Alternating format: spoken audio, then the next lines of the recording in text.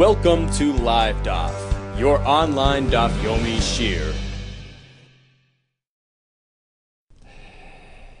Shalom Aleichem and welcome back to today's Daf Hayomi Nedarim Daf Chav Beis. We are holding. mm, Let's let's back up to three lines from the top of the Yamid. Bar Barte de Rav Yanai Saba. This incident occurs with the uh, son of Rabbi Yanai Saba's daughter, so his grandson. Also, look at Rav Yanai Saba. He approaches his grandfather with a nether to look after. He wants him to release him of his nether. Amrle Sir Rav asks him as follows: Ilu hava yadas, the paschen pinkascha. Look, had you have known that in Shemaim they will now open your ledger, in Shemaim they will examine your records, they will examine your deeds. That is to say, like this: that in Shemaim they will view your uh, your commitment, your nether, as an expression of confidence. Look, this fellow is so confident and reliant on his abilities to fulfill all these extra commitments and vows. Look, let's see how righteous he really is. So this will facilitate a re-examination of your status in Shemaim. If you would have known that, that that's going to happen, if you would have been aware of the fact that your nether will bring about that result, will trigger that process in Shemaim. Mina Dart, would you have undertaken this nether? That's what he asked his grandson. So he got him all, you know, intimidated and scared. Amar Leiloi, he says, no, no, sure, of course not, never. Vishari, he used that method to release him of his nether. Amar Abba Mikra, where do we find this concept in a pasuk? When you make a nether, that creates bikar, examination in Shemaim. Says the Gemara, Va'afak of the pasuk Rav even though Rav Yanai used this meth- method to discourage this fellow from keeping his beho, we don't employ this method. Why? The Ran explains. Perhaps this fellow will just acquiesce out of intimidation. When he gets this criticism directed at him, he'll just back out and pretend that, yeah, he has a change of heart, even though perhaps he's he's uh, not really prepared to back out of his nether. It's not sufficient reason to back out, but he will pretend that it is out of bashfulness and shame. So don't, we don't really employ this method as a way to do Ataras Nadarim. We have to know that he's really genuine in his regret. So we don't use, use this method, nor do we use the following method. Paschinan b'hadach naisa. Nor do we allow him out of his nether by way of the other method. Which other method? The Amar Barachana, Amar Rabbi Yochanan, my pasachle, Rabban Gamliel, Lahu Saba. What system did Rabban Gamliel use to release this older fellow of his nether? He quoted to him a pasuk, a pasuk in. Yesh boite, kimat cherev, v'loshen chachamim marpe. We learn from here that boite, boite means to express oneself verbally. Kol habayta, one who does that, he expresses himself and commits himself with nedarim and commitments and vows. Ro'oi l'daikroi becharev. He is deserving of being struck by a by a sword. So making a neder is not really advisable. Elo lashon chachamim marpe. But lucky to him that the words of the chachamim, the ataras nedarim, offered by the chacham marpe, that heals him, that undoes his nether. So he was just illustrating to this Saba how detrimental, how um, unrecommended a nether is, and that facilitated his regret and allowed him to release uh, the Saba of his nether. The Farshim point out that Baita is an external uh, expression. It's just like Minasaf of it's just words without much contemplation behind them. Baita, just going and making Nadarim freely, that's not recommended. Veloshin Chachamim Marpe, the Chachamim who, uh, whose speech reflect a deeper contemplation. It's an expression of deeper insight. That brings about healing. So typically, we don't employ these methods because they're intimidating. and aren't necessarily reflective of a person's true regret. Nor do we employ the following method.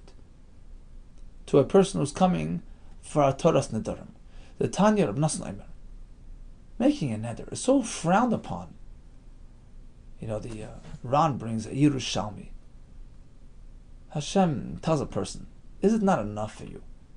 All those limitations and restrictions and Yisurim in the Torah, you're trying to add more. First, keep what you're meant to keep, and then look to add more. Hanoider, Sanya Ibn Hanoider, a fellow commits to a neder unnecessarily. So he's thinking uh, in lofty terms. I'm going to, you know, add restrictions. I'm going to, you know, elevate my level of observance. Actually, ki'ilu bana bama. It's as though he built an alternate mizbeach, a competing mizbeach to the mizbeach in the Beis Hamikdash. He's creating his own track. And in fact, if a person fails to nullify that nether, he keeps his nether. He carries it through. It's even worse. Kilu of olive carbon. It's as though he brings a carbon on that boma. He's actualizing that, you know, um, alternate, alter, alternate commitment. Says the Gemara, Beresha Paschinan. So we have two parts of Nassan's price. Making the nether is terrible, and actually keeping it is even more terrible. Beresha Paschinan we can use the first part to facilitate regret on account of the petitioner. The sefer, what about the second part, which is more severe sounding? We have a machlekes. Abaye Paschinan, we use it. Rav Amar Loi Paschinan. Rav Kahana Masnla Lo Shmata Badein Lishtan. To Rav Kahana, the following was the correct version of this halach. I'm sorry, the uh, previous was the correct version. Rav Tavyumi Masni Hachi. According to Rav Tavyumi, it was meant to be learned differently we have two parts to Rav Nassan's presentation. The nether is like a bama. The key of the nether is like a carbon on that bama. So according to Rav Tavyumi, it was like this. B'sefer all agree. We don't use that second severe sounding, harsh sounding uh, description to um, facilitate regret. It's too intimidating. Perhaps it isn't necessarily a reflection of this fellow's true, genuine sentiments. That's for the Sefer. But Beresha, the first part, which isn't so harsh sounding, Abaye Omar Paschinan, Rav Amalei Paschinan, we have Machlekes whether or not we use it. And what's the halacha? Not on the first and not on the second. What else? Nor do we use Shmuel's uh, lesson to uh, release a nether. To Omar Shmuel, Afal Pishim, Nikra Rosh, even if a person actually fulfills his nether commitment, he's called a Rasha. It's not recommended. Omar Ravo, my crow, where do we find this in the Pasuk? That keeping a personal nether is equated to wickedness.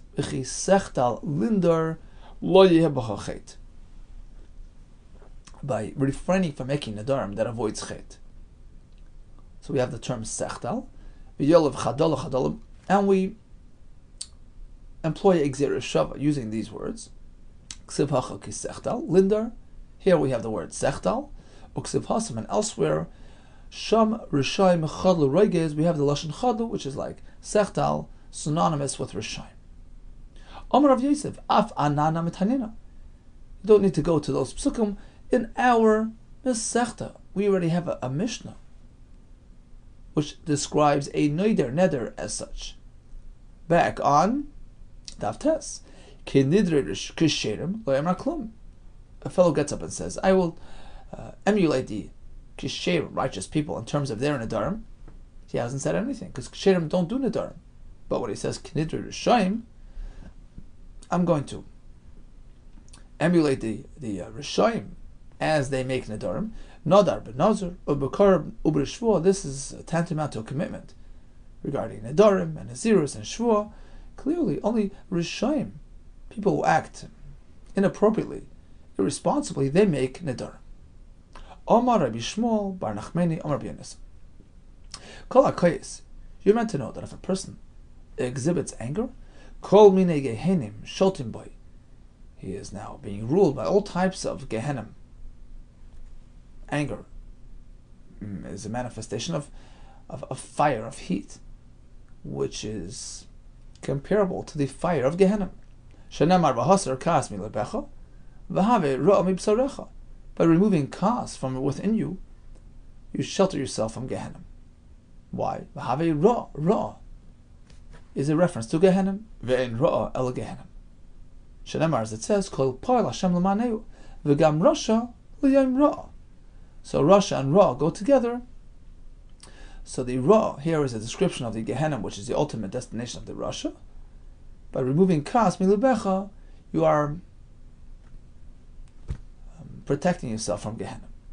But not only that, when a person gets involved in Kas, it harms, harms him physically. He can be affected by hemorrhoids.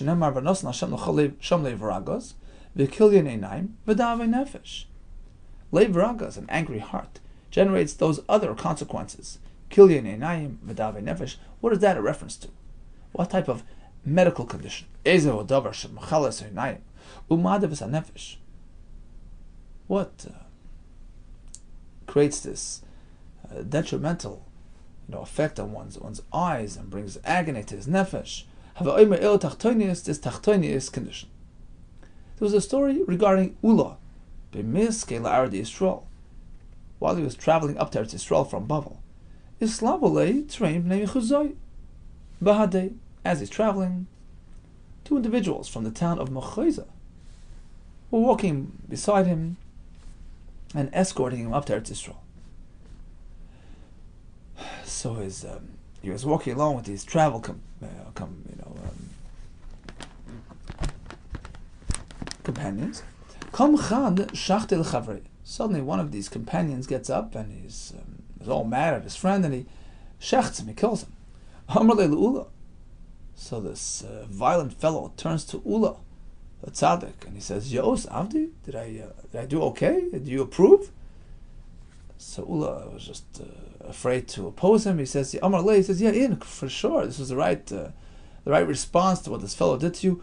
Not only that, to uncover his neck, make it uh, more effective. He should die quicker. When Ula arrived in Eretz Yisrael and came to Rabbi Yechanan, Amar Ula was very perturbed by this, you know, the story, and he he started regretting that perhaps he was you know, he had encouraged the murderer, Dilma Chas v'shol machziki de avera perhaps. I encouraged a fellow, a murderer. I shouldn't have, uh, you know, complimented him. Omar Leis, Rabbi Yechana says not to worry. Nafshecha itzalta, you were just trying to save your life. He had no choice but to sort of go along with this fellow and his shenanigans. Kotama Rabbi Yechanan. Rabbi Yechanan, having heard the story, Look what this fellow does out of extreme anger. He was so surprised, out of wonderment. He says, "Michti ksiv Hashem ragas." The pasuk which says that Hashem will, you know, will make you susceptible to extreme anger. That's a reference to Golas, Bavel Ksiv. It's in Bavel. Over there, you know, it's out of Eretz Yisrael, and you're susceptible to anger. But how does this happen in Eretz Yisrael? He thought it happened already in Eretz Yisrael. Um, Amalei Su'ula says, don't worry, it was right outside Eretz Yisrael. Hoshata. At that point, we hadn't yet crossed the Yarden. So that explained the story. Amar Rabba Barafhuna Kolakois, a person who's involved in anger. He doesn't even have regard to the shchina. He totally loses his mind. Everything is just like overboard. Shenamar Rosha kegoiva apa bal yidroish Ein Elokim Kol Mizumoisav. Rasha was involved in anger. He doesn't even feel Hashem's presence. And Mepharshim explain, anger is an expression of weakness in amuna, in faith and trust in Hashem. For a person who really um, lives with a constant, with Hashem's constant presence and knows that everything's from Hashem, Gamzal Teva, it doesn't allow any any sentiments of irritation or anger. It's all from Hashem and all expression of love, and everything is just uh, part of that um, beautiful arrangement. And all people who are, uh, you know, um, all just emissaries, shluchim of Hashem. There's no room for anger. Rav Yirmiyah B'Difti Yamar, he explained as follows. A person who's involved in anger, Meshakech Talmudai, it causes him to forget his learning. Umoisif Tipshus, and it adds silliness. Shenemar Kikas B'Cheik Kisil Yanuach. So kas is synonymous with ksil, with lack of uh, wisdom. Uksiv uksili froisi velas. It says that the the ksil uh, expands the the the uh, ivelas, the um, uh, you know silliness and. He's moisiv tipshus, the Ran says. It just uh, increases his his um, his silliness. Rav Nachman Bar Yitzchak Amar, a person who's angry by Yadua Shavai Noisav Ruben Mschayosav, it is uh, a clear a sign that his averas are more numerous than his chusim. Shnemar Baal Chema Rav Pesha. A person who's a Baal Chema, a man of anger, it's an expression of the um, multitude of, of averas that he has. Omar Abada Bar. Here comes an interesting Gemara. Ilmole Chatu Yisrael if it were not that Klal Yisrael, the the uh, the chet in the midbar, the egel, so if not for the egel, lo nitan lahem ella chamisha chamshe Torah v'sefer yishov All they would have gotten were the chamisha chamshe Torah and the sefer Yeshua. We'll see in a minute why. What's uh, special about Yeshua as opposed to the other Nevi'im Uksuvim? because it describes, you know, the details of Eretz Yisrael and how it was meant to be allocated, etc. So that was crucial. So that's all they would have gotten. Five, Chamashim and Yeshua. My time, and why not more? Chochma uh, Rav Kaz, because the uh, Nevi'im and you know all the lessons contained therein are really an expression uh, for the most part, the Ran says, most of the Divrei Chachmas and Avim uh, an expression, are an indication of the cause of the anger that the Klal were, um, you know, instigated by, by Hashem due to their misdeeds throughout the Deris. So that was only sort of a, um, a consequence of their lower level, so to speak. So their their deficiencies and their faults brought about the uh, the expansion of, of the Torah, etc. Uh, and that's why we have the Nevi'im Uksuvim. Now the obvious question is, so uh, doesn't that mean to say that Nevi'im Iksum are just uh, there out of out of uh, you know consequence, out of circumstance, but not really you know, um, you know a primary uh, source of of, of, of, of, you know of Torah of, of, of lessons, etc. So the interesting the Mefarish, you know the uh, the left the left Mefarish the Rashi over here, he says that um, because they did the chet I'll just read it inside, around seven, eight lines from the top, in the left column of the daf. He says, "V'fisha bata v'chatu, noisav lahem roiv chachma, she'ar hasfarim." Because of their chatoim, they were given the extra svarim, Ravim Maksuvim, and he adds two words, lahatrichan yisr, to give him extra work, so to speak. So it almost sounds like Nevi'im Maksuvim are just there to give us a hard time, which is a little bit, you know, hard to believe. We have to uh, try to delve into this a bit deeper. Now, the Rush actually says like this. Um, this is the uh, one, two, three, the fourth piece in the Rush, Pirusha Rush. He says, He says, not to say that what we, what we find in the Nevi'im Aksuvim are just, you know, secondary. He said, actually, if not for us receiving the additional Svarim of Nach, just having the Chemish Chemish Torah, that would have been enough. You know why? By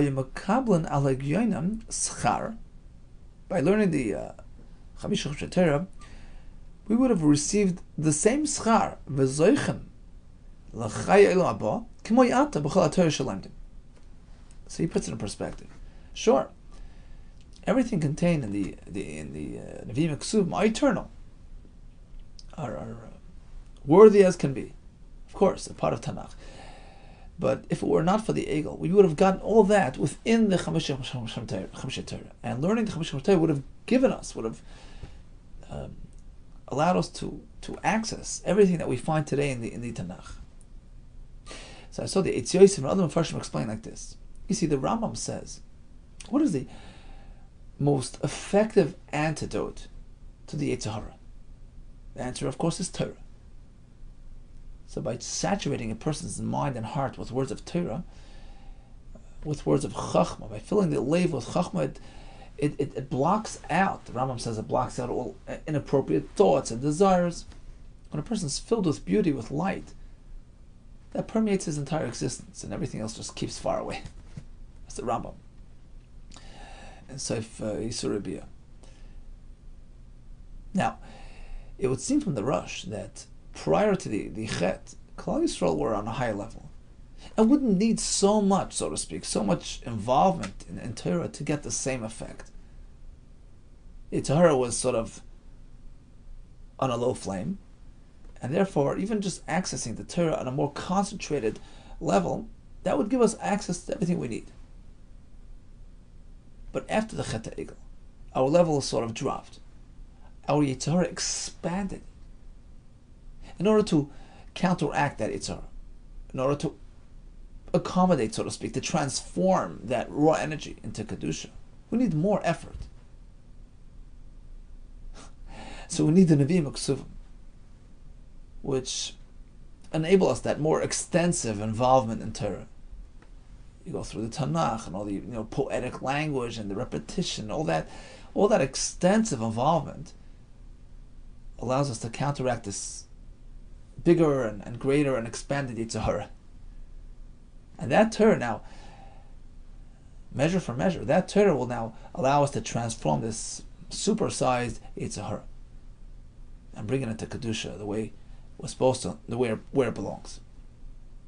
So before the Chet, a smaller, compact Torah would have done the job, but now we need everything, everything we can get our hands on to do the job. That's what the Rashi meant. We have the more, more the more, the more the Rav Chachma, the Shara Sfarm Lahatrichan Yoser. That extra tircha, extra involvement, that extra effort is needed to arrive at that same uh, destination to transform the Yitzhahara of today. Continues the Gemara. Amar of Asi, Ein Eskokin Lelekei Yisrael. Ran explains, we're speaking about a Shavua, in contrast to a which doesn't typically invoke Hashem's name. A Shavua needs to refer to Hashem and to Hashem's name, whether he said it explicitly or not, but that's the essence of a Shavua. It relates to Hashem's existence. We don't get involved in uh, releasing a person from a Shavua. we don't do it. Chutz mekonim ishtish except when it involves a mitzvah like shalom bayis to restore, you know, domestic harmony. This fellow had made a neder, a shvua, compelling his wife to keep away from him. Shagunvas kisi, she uh, took my uh, money back. She says, me, she hit my child. And it turns out to be false. Venoida turns out she didn't take it. Shleikata, she didn't uh, hit to strike the child. In any case, he's just using an example of why a person would regret his shvua. Bottom line is typically we don't get involved in releasing a person from shvua. We try to teach him a lesson. Don't get involved in these things, except where it involves a mitzvah like shalom bayis. Hayida Asoil Kavadir Rav Asi. Says Isha approaches Rav Asi. Omar lo, he asks her b'mai uh, nadart. You know, what uh, method of, of neder did you use? Belkei Yisrael. I used Hashem's name, so uh, I made a shvu in Hashem's name. Omar lo, he tells her like this. Sorry, I can't help you. Ino dart b'mohi. So mohi is an Aramaic translation of Shvuah. If you would have just used that, it's like a kinush. A kinubaum is just like sort of a, a, distorted, you know, expression of Shvuah. It's not a direct reference to Hashem. Yeah, then I would uh, tend to your Shvuah and try to release you. Now that you did not use that term, Yisrael, you went directly to Hashem. I will not help you out. Teach you a lesson. Rav Kahana, he came to visit Ikla Rav Yosef Rav Yosef. Amar Le Rav Yosef, the host, asked him to, uh, you know, to uh, join him, uh, take some food. Litay Marmidi, please have a, have something to eat. Amar Le, so Rav Kahana responds, Loi, uh, no. And he added, Mari Kaila, the name of Hashem, the master of all, Loi to I will not, you know, take his food. So he made a shvuah. Amar Le, Rav Yosef responds, Loy Mari Koila Ta'imas Lei, he sort of like echoed his words. In the name of Hashem, you won't, you know, have his food.